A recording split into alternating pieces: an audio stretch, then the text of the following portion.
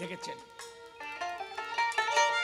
ডাক দিয়ে বলেছেন নর্তম মহাপ্রভু যখন পূর্ব দেশে যাত্রা করেছিলেন, তখন এই প্রেমধন আমার কাছে গচ্ছিত রেখে ডাক দিয়ে বলেছিলেন, দেখো, আমার উপযুক্ত উত্তরস্বরী ওই নর্তমেনে পরে এই প্রেম ধন দিয়ে পারে তুমি আজ করো গ্রহ গঙ্গা যখন প্রেম ধন এনে নরোত্তমকে দিল। প্রেমানন্দে হরি বলে নরোত্তম রওনা হয়ে গেল। ওই প্রেম ধনে যখন এনে নরোত্তমকে দেয়। ওরে মাতোয়ারা হয়ে নরোত্তম তখন বৃন্দাবনে ধায়। আজ প্রেমানন্দে বাহু তুলে হরি হরি হরি বলে আজ নরোত্তম তখন বৃন্দাবনে ছুটে চলেছে। আর ওদিকে শ্রীদীপ গোস্বামীর কাছে আদেশ হয়েছে যে আমার পরম ভক্ত নরোত্তম আসছে। তুমি তাকে আশ্রয় দান করি সকালবেলায় ঘুম থেকে উঠেই গোস্বামীজি ভক্তগণ সঙ্গে নিয়ে বলছে, নরোত্তম আসছে, চলো যাই। কোথায়? খুঁজতে খুঁজতে যমুনার কিনারে এসে দেখে যে একটা বালক পড়িয়াছে মৃত্তিকায়। মৃত্তিকায় পড়ে সে এভাবে হরিনাম করছে। দেখেই চিনতে পেরেছে, ভক্তগণকে বলছে, ওই দেখো নরোত্তম, ধরো ধরো, নিয়ে চলো। নরোত্তমকে নিয়ে তখন রওনা হয়ে গেল শ্রীদীপ গোস্বামীর আশ্রমেতে যখন এই আসি। ওইভাবে আশ্রমেতে ভক্ত নর্তম জয়, আরও শ্রীনিবাস, আর ছিল ওই জায়গায়। আমার নরোত্তমকে যখন নিয়ে গেল, তাই তো শ্রীনিবাসকে সঙ্গে নিয়ে তখন এভাবে বিদ্যা অধ্যয়ন করেছিল, ওখানে শাস্ত্র অধ্যয়ন করেছিল। দেখেছেন? শ্রীনিবাস শ্যামানন্দ আর এই নরোত্তম। প্রভুজি ডাক দিয়ে বলেছে, নরোত্তম, বলো, তোমরা কে কি কাজ চাও? নরোত্তম বলছে, প্রভু, তুমি আমাকে একটু দাও সময়, আমি একটু বৃন্দাবন পরি- পরিক্রমা করে দেখব। বলে, ঠিক আছে। নরোত্তম রওনা হয়েছে। একদিন যেতে যেতেই লোকনাথ গোস্বামীর আশ্রমে চলে গেছে। গোস্বামীজিকে ডেকে এসে শ্রীদীপ গোস্বামীকে বলেছে, ডেকে প্রভু, আমি একটা জিনিস চাই। বলে, বলো কি? বলে, আমি লোকনাথ গোস্বামীর শিষ্য হতে চাই। শ্রীজীব গোস্বামী করেছে মানা, খবরদার আর দ্বিতীয়বার ওই কথা মুখে উচ্চারণ করো না। বলে, কেন? আমার অপরাধ কি? বলে, অপরাধ নয়। গোস্বামীজির প্রতিজ্ঞা আছে, তিনি জীবনে কোনো শিষ্য করবেন না। বলে, তাই? তাহলে ছয় মাসের ছুটি দেওয়া হয়। এই ছয় মাস আমি কোথায় থাকি, কি খাই, তুমি আমার কোনো খোঁজ নেবে না। জীব গোস্বামী বল জীব গোস্বামী বলেছে, ঠিক আছে। দেখেছে তার অনুরাগ বৃদ্ধি হয়েছে। ও তাই হরে কৃষ্ণ হরি বলে রওনা হয়ে গেল। আশ্রমের পাশে একটা শিবির গড়েছিল। তখন তো বৃন্দাবন অধিকাংশ সব বন, জঙ্গল। আশ্রমের পাশে যে জঙ্গল, ওর এক প্রান্তে একটা পাতার কুঠির তৈরি করে নরোত্তম থাকে ওই জায়গায়। আর তিন রাত্রি লক্ষ্য রাখে, গোস্বামী কখন কি করে, কোথায় যায়, এভাবে। দেখে প্রতিদিন ভোরবেলায় উঠে, উনি বনের ভিতরে একটা জায়গায় শৌচ হতে যান। মানে পায়খানা করে ওইখানে শৌচ হন। যখন গোস্বামীজি ওখান থেকে চলে যান, আর নরোত্তম গাছের পাতা হাতে ধরে নিজে ওইখানে পরিষ্কার করে লেপে সুন্দর করে দিয়ে যায়। পরদিন সকালবেলায় লোকনাথ গোস্বামী এসে চিন্তা করে মনের পাশে কি আমি এখানে গতকাল মল ত্যাগ করেছিলাম, শৌচ হয়েছিলাম, কিন্তু কে এমন করে গেল? আবার পরদিন সকালবেলায় দেখতে পারে ওই রকম কে জানে নিজে হাতে পরিষ্কার করে সুন্দর করে লেপে রেখে দেয়। কয়েকদিন পরে লোকনাথ গোস্বামী গোপনে থেকে চেয়ে দেখে একটা বালক ওইভাবে এসে পরিষ্কার করে যায়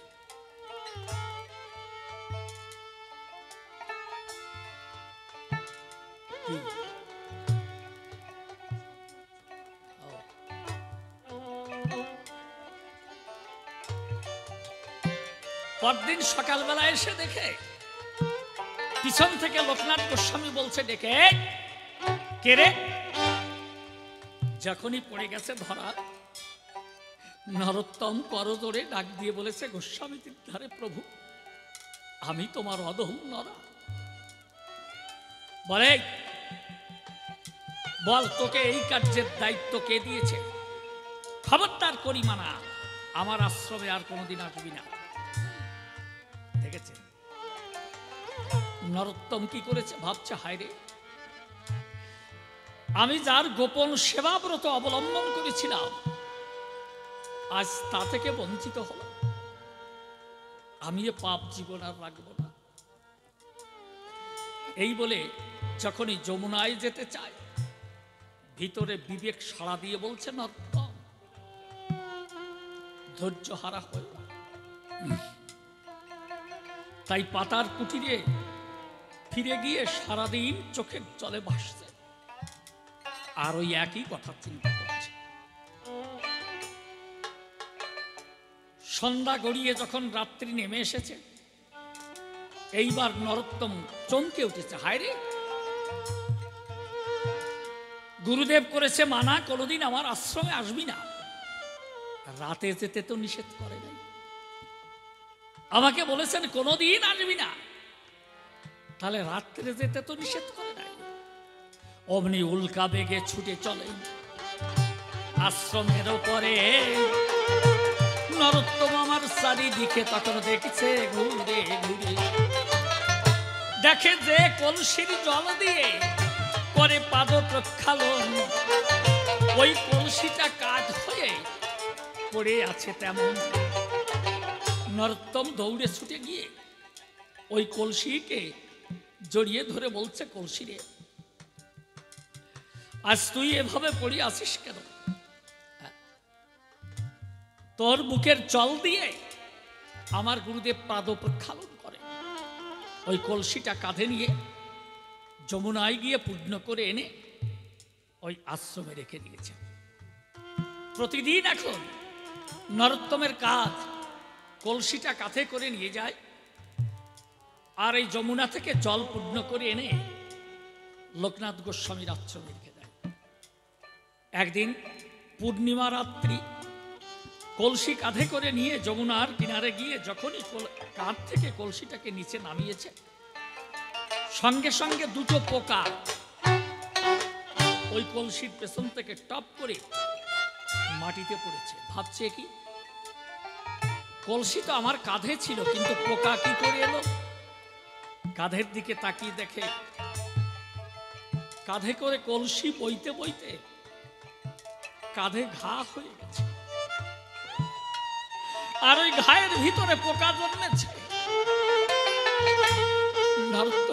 ভাবছে, হায় রে, আমি এত চেষ্টা করলাম আমার গুরুদেবের সেবা করার জন্য। এই কলসিতে জল বইতে বইতে আমার কাঁধে ঘা হয়ে পোকা জন্মে গেছে। কিন্তু আজও গুরুদেব আমাকে কৃপাধন্য করলেন না। আমি এ পাপ জীবন রাখব না। এই বলে যখনই যমুনায় ঝাঁপ দিতে গেছেন, পেছন থেকে শব্দ এসেছে নর্তম দাঁড়াও। নরোত্তম চমকে উঠে পিছনে ফিরে চেয়ে দেখে বলছে, গুরুদেব কিন্তু দেখে কেউ নাই। শূন্য যমুনার কিনারায় শুধু কলসি পড়ে আছে। ওই কলসিটা ডাক দিয়ে বলেছে, নর্তম, চেয়ে দেখো আমি। বলে, সে কি তুমি মাটির কলসি? তুমি কি কথা বলতে পারো? বলে, তোমার গুরুদেবের কৃপা হলে পরে শত অসম্ভব সম্ভব হতে পারে। তাই তো আজ নরোত্তম ভাব কর্ণে শ্রবণ করছে। মনে হয় যেন গুরুদেবী ডাক দিয়ে বলছে নরোত্তম, ধৈর্যই হলো মানব জীবনের একমাত্র সম্পদ। এই ধৈর্যই হলো মানব জীবনের একমাত্র সম্পদ। একবার ধৈর্যচ্যুত হলে তার জীবনে আর কখনো কোনো কর্ম সফল হয় না। দেখো একবার। আমাকে দেখো। আমি মাটির কলসি, মাঠের কঠিন মাটি ছিলাম। কুম্ভকার আমার বুকে অস্ত্র দিয়ে খনন করে ঝাঁকা ভরে এই মাটি বাড়িতে দিয়ে কুম্ভকার পত্নীগণের মধ্যে জল ঢেলে পা দিয়ে পাড়িয়ে পাড়িয়ে নরম কাদায় পরিণত করেছে। আর সেই নরম কাদা ওই কুম্ভকার একটা চাকার পরে এভাবে ধরে দিয়ে ঘুরায় ঘুরায় আমার এই কলসির অর্ধাংশ নির্মাণ করেছে। তখন আমি সম্পূর্ণ আর অর্ধাংশ হাতে মাটি ধরে তখন হাত দিয়ে পিটায়ে পিটে তখন আমার এই অর্ধাংশের সঙ্গে যুক্ত করে দেয়। আমি কলসি হলাম, যখনই কলসি হলাম, আমার জীবনে যত পরীক্ষা এলো। কেন? আমি তখনও কাঁচা ছিলাম। আমাকে রৌদ্রে শুকায় শুকায় একটু কঠিন করেছে। এরপর আগুনিয়ে দিয়ে পুড়িয়ে আমাকে আরও কঠিন আর যখনই আগুন থেকে আমারই সাথী, আমারই কত ভাই বন্ধু ওই আগুনের মধ্যেই চটে ফেটে গেছে। তারা আবার ফিরে গেছে। আমাদের মানব জীবনটাও যখনই গোবিন্দের দিকে আমরা অগ্রসর হই, তখনই জীবনে পরীক্ষা নেই। শত বাধা বিঘ্ন, দুঃখ, দুর্দশা, ব্যথা, বেদনা মানব জীবনে নেমে আসে। কিন্তু যদি কখনো ধৈর্যচ্যুত না হয়, তাহলে সে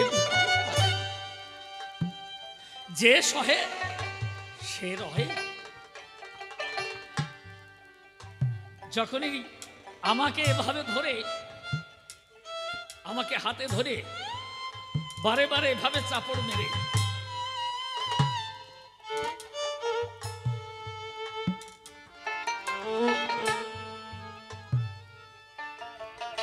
যে আসে এভাবে তখন আমার কান ধরে আমাকে বারবার হাতে দিয়ে চাপড় দিয়ে দেখে আমার পোলাটা কেমন। কুম্ভকার যখন ছাকা ভরে হাটে নিয়ে গেল যে আমার কাছে আসে, সেই এসে ওইভাবে কান ধরে দুটো চাপড় দিয়ে দেখে পোড়াটা কেমন হয়েছে। এই বিশ্ব জগৎটাই এমন। এভাবে ভগবান নিজে ভক্তকে পরীক্ষা করে দেয়।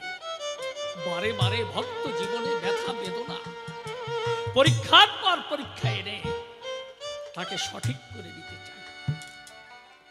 বলে, কুম্ভকারের হাতে যে একটা লাঠি ছিল যখন আমার অঙ্গে চাটি মারে, আমি কন কন কন কন করে শব্দ করেছিলাম। আর প্রতি শব্দে শব্দে অন্তরে অন্তরে আমি হরিগুণ গান গেয়েছি। তাই তো তোমার গুরুদেব এসে আমাকে ক্রয় করে কৃপা করে এই আশ্রমে নিয়ে এলো। অনর্তম ধৈর্যচ্যুত হয়েও না। ওই দেখো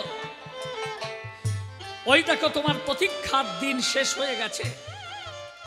আধারের পদ পেয়ে আলোকের ধারা নেমে আসছে নর্তম তুমি দুঃখ না। নর্তম তখন ফিরে গেছে। এভাবেই নরোত্তমের জীবন গঠিত হয়েছে।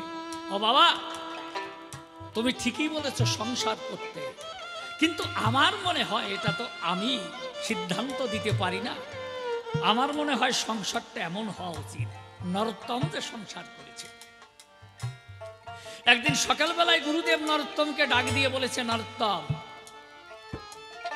গোপালের বাল্যভোগের ব্যবস্থা করে নিয়ে এসো। নরোত্তম ভাবছে, কি করা যায়?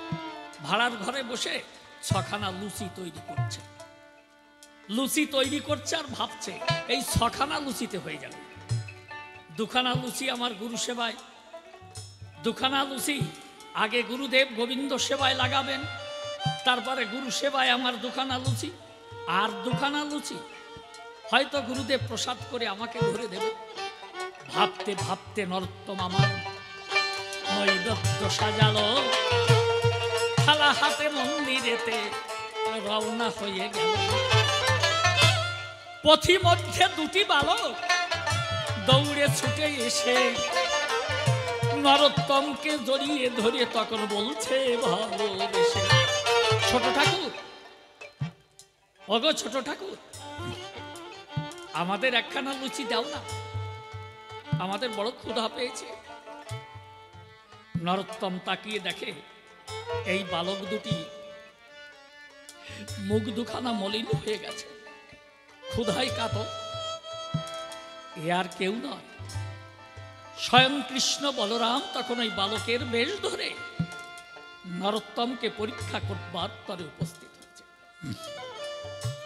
নরোত্তম বলছে, খোকারে, আমি তো আমার গুরুদেবের আদেশ ভিন্ন, অন্য কিছু করি না। চলো চলো চলো, তোমরা মন্দিরে চলো, আমার গুরুদেব এখনই বাল্যভোগ লাগিয়ে তোমাদের প্রসাদ দেবেন। এই বলে আবার ওই নৈবেদ্যের থালা হাতে যখন মন্দিরেতে গেল, ভিতর থেকে লোকনাথ গোস্বামী হুঙ্কার ছেড়েছিল। খবরদার নর্তম, মূর্খ, আমার মন্দিরে প্রবেশ করবি না। যা, আমার আশ্রম থেকে দূর হয়ে যা। এখনও তোর ভাগাভাগি যায় নাই। নর্তম মনে মনে ওই যে ভাগ করেছে, দুখানা লুচি গোবিন্দ সেবায় দুখানা আমার গুরু সেবায়। আর এই দুখানা লুচি হয়তো এই দুটি বালককে ধরে দেবে। আমার, যা হওয়ার একটা কিছু হবে। এই মনে মনে লুচি ভাগ করেছিল, তাই গোস্বামীজি ভিতর থেকে হুঙ্কার ছেড়ে বলেছে খবরটা নরোত্তম আমার মন্দিরে প্রবেশ করবি না, মূর্খ। এখনও তোর ভাগাভাগি যায় নাই। যা আমার সম্মুখ থেকে নরোত্তম কিং কর্তব্য হয়ে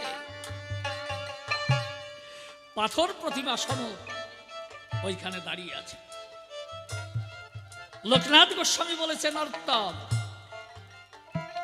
গুরু বাক্য লঙ্ঘন করবে না। যাও, এই আশ্রম থেকে দূর হয়ে যাও। নরোত্তম ধর বিগলিত করে, ব্যথার অশ্রুতে ভাসছে। আর মনে মনে বলছে, গুরুদেব আমি আমার নিজের মনকে না জানলেও তুমি তো জানো প্রভু। তুমি তো আমার মন জানো। তাই নৈবেদ্যের থালা মন্দির প্রাঙ্গণে নামিয়ে রেখে আজ আমার নর্তম কানতে কানতে বনপথে রওনা হয়ে গেছে। এভাবে একবার ভাবে যমুনায় প্রাণ বিসর্জন দেব, আবার ভাবে না। আত্মহত্যা মহাপাপ। করেছে কি? হঠাৎ বিবেক সাড়া দিয়েছে। শাস্ত্রে বলেছে, পুত্রার্থে ক্রিয়তে ভার্যা। গুরুদেব আদেশ দিয়েছেন, যা, সংসার কর গিয়ে। আমার এই আশ্রম থেকে দূর হয়ে যা, সংসার কর গিয়ে। আদেশ দিয়েছেন, সংসার কর। নর্তম ভাবছে, তাহলে কি আমাকে দ্বার পরিগ্রহ করতে হবে? না না না আমি এই জীবনে তা কখনো পাতব না। হঠাৎ ওই বিবেক সারা দিয়ে বলছে নরোত্তম পুত্রার্থে ক্রিয়তে ভার্যা পুত্রের জন্যই মানুষ ভার্যা গ্রহণ করে। নরোত্তম ভাবিছে, তাই আমি যদি পুত্র পাই, তাহলে তার ভার্যা গ্রহণের প্রয়োজন নাই। ভাবছে কি, দ্বাদশ গোপালকে সন্দেশ, সন্তান জ্ঞানে ভজন করছে। দেখেছে? দ্বাদশ গোপালের মন্দির করে একাধারে তাকে তাদের সন্তান জ্ঞানে সেবার্চনা করে। আবার যখন রাতের অন্ধকারে গুরুদেবের কথা মনে পড়ে, কণ্টক সজ্জায় পড়ে, যখন হু হু করে বন্যা বয়ে যায় অশ্রু বন্যা বয়ে যায়, ওই পাথরের মূরতির বুক চিরে, দ্বাদশ গোপাল মূর্তি ধরে ছোট্ট বালকের মূর্তি ধরে তখন ছুটে যায় নরোত্তমের বিছানায়। ওরা নরোত্তমকে বুকে জড়িয়ে ধরে বলে, বাবা, আমরা তো তোমার সন্তান। একমাত্র গুরুদেবে কি তোমার সব? আমরা কি তোমার কেউ নরোত্তম ওদেরকে বুকের মধ্যে জড়িয়ে ধরে বলে মরে তোরা আসিস বলেই তো আমি বেঁচে আছি। তোরাই যে আমার বেঁচে থাকা একমাত্র অবলম্বন, একমাত্র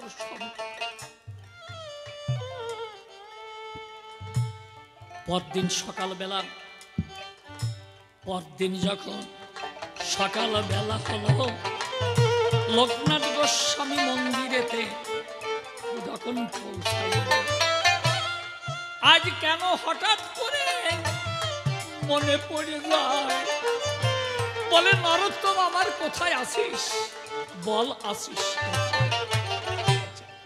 নরোত্তম নরোত্তম, বলে চিৎকার করে উঠছে। ও, নরোত্তম নরোত্তম কোথায়? হঠাৎ মনে পড়ে গেছে, আমি তো নরোত্তমকে তাড়িয়ে দিয়েছি। আজ বৃদ্ধ যষ্টি হাতে জীর্ণ, শীর্ণ কায়ে ওই বনে পথ দিয়ে ছুটে চলছে যাকে পায় তাকেই জড়িয়ে ধরে বলে, তোমরা আমার নরোত্তমকে দেখেছ? কখনো হয়তো প্রতি পার্শ্বের, এ পার্শ্বের বৃক্ষের গায়ে আঘাত খেয়ে উল্টে গিয়ে ওই পাশের বৃক্ষের গায়ে পড়ে। ওই বৃক্ষকে বুকে জড়িয়ে ধরে বলে, তোরা কি বলতে পারিস আমার নরোত্তম এই পথ দিয়ে এমন সময় ছোট্ট দুটি বালক এসে ডাক দিয়ে বলেছে, ওগো, তুমি কাকে খুঁজছো? আমাদের বাবা নরোত্তমকে? বালক দুটিকে দেখেই বলেছে, এই, আমার নরোত্তম, তোদের বাবা হতে যাবে কেন? একদিকে গুরুদেবের অধিকার, আর ওই বালক দুটি আর কেউ নয়, কৃষ্ণ বলরাম স্বয়ং গোবিন্দের অধিকার। ওরা বলছে, আমাদের বাবা নরোত্তম। আর গুরুদেব বলছে, আমার নরোত্তম তোদের বাবা হতে যাবে কেন? না না, আমার নরোত্তম তোদের কেউ নয়। ওরা বলে হ্যাঁ হ্যাঁ আমার বাবা নরোত্তম, তুমি আমাদের বাবার গুরুদেব, তোমাকে দেখেই চিনে ফেলেছি। বলে, তোমরা আমাকে চেনো যে হ্যাঁ বাবার মুখে তোমার নাম শুনতে শুনতে, তোমার বর্ণনা শুনতে শুনতে, তোমাকে দেখেই আমরা চিনে ফেলেছি। চলো চলো চলো, ওই যে আমাদের বাড়ি। দেখেছেন? হাতে ধরে নিয়ে তাদের রওনা হয়ে গেল। দুটি বালক নিয়ে যখন এই আশ্রমেতে গেল, সঙ্গে সঙ্গে আরও দশটি বালক দৌড়ে ছুটে আসে। ওরে গুরুদেবকে ঘিরে নৃত্য করে, সবাই ভালোবাসে। আশ্রমে পৌঁছানোর সঙ্গে সঙ্গে ওই মন্দির থেকে দৌড়ে ছুটে এসছে আরও দশটি একই রকম দেখতে, একই বয়সে, একই রকম চেহারা। গুরুদেব আত্মহারা হয়ে গেছে কি? বলে, তোমরা কে? বলে, আমরা নরোত্তমের ছেলে। দাদু ভাই আমরা তোমাদের নাতি ছেলে। আমাদের বাবা নরোত্তম। বলে, তোমাদের সকলের বাবা নরোত্তম? বলে হ্যাঁ সকলের বাবা নরোত্তম। গুরুদেব দেখছে একই রকম চেহারা, একই বয়সে, একই রকম দেখতে। কি করে হয়? এমন সময় নরোত্তম ভিক্ষা থেকে এসে দূর থেকে চেয়ে তাকে গুরুদেব বসে আছে। ওরা গুরুদেবকে বসতে দিয়েছে। কেউ হাতে পাখা নিয়ে বেদন করছে। আবার সবাই ঘিরে আনন্দ নৃত্য করেছে। দাদু হাই এসেছে, দাদু ভাই এসেছে। আজ লোকনাথ গোস্বামীর বড় আনন্দ। ভাবছে আমার নরোত্তম সুখেই আছে। এমন সময় নরোত্তম গুরুদেবকে দেখে দন্তে তৃণ ধারণ করে, মৃত্তিকাতে পল গলাতে গলাতে এসে সষ্টাঙ্গে প্রণাম দিয়েছিল। গুরুদেব বলে আই নরোত্তম আই নরোত্তম আমার তোর মতো সৌভাগ্যবান জগতে কে আছে। আয় নরোত্তম, নরোত্তমকে বুকে ধরে আলিঙ্গন দিয়ে বলেছে, নরোত্তম রে, তুই তো সুখে আছিস। এই দ্বাদশটি বালক তোর সন্তান। বলে হ্যাঁ গুরুদেব। বলে, মূর্খ, সংসার করেছিস? যে, গুরুদেব, তোমার আদেশ পালন করেছি মাত্র। বলে, আমার আদেশ পালন করেছিস? জীবনে এত বড় অকল্যাণ ঘটেছি, ঘটিয়েছিস? নর্তম বলছে, গুরুদেব, তোমার আদেশে তো আমার জীবনে কোনো অকল্যাণ সাধিত হতে পারে না। তোমার আদেশ পালন করেছি বলে, চল দেখি সেই হতভাগিনীর মেয়েরা কোথায় আছে? বলে, হতভাগিনীর মেয়েরা? বলে হ্যাঁ এদের যারা জন্ম দিয়েছে। বলে, গুরুদেব, ওদের তো কেউ জন্ম দিতে পারে তবে দেখবে এসো, গুরুদেবকে নিয়ে যখন ওই মন্দিরেতে গেল, একে একে দ্বাদশ গোপালকে দেখাতে লাগিল। বলে, এই তো আমার দ্বাদশটি সন্তান। ওই যে মন্দিরেতেই আছে। গুরুদেব বলে, আগে যারা এসেছিল, তারা কোথায় গেছে? বলে, এতক্ষণ যারা আমার কাছে আমাকে ঘিরে আনন্দ নৃত্য করছিল, তারা কোথায় গেল? বলে, গুরুদেব, ওই তো তারা। একদিকে ওরা আমার সন্তান আর একদিকে ওরা আমার আরাধনা আরাধনা আরাধন আমি সতত করি ওদের সেবা অর্চনা গুরুদেব গুরুদেব বলে হায় রে মরা হায় রে আমার কাছে আজই আমার গুরু জীবন সার্থক হয়ে গেছে।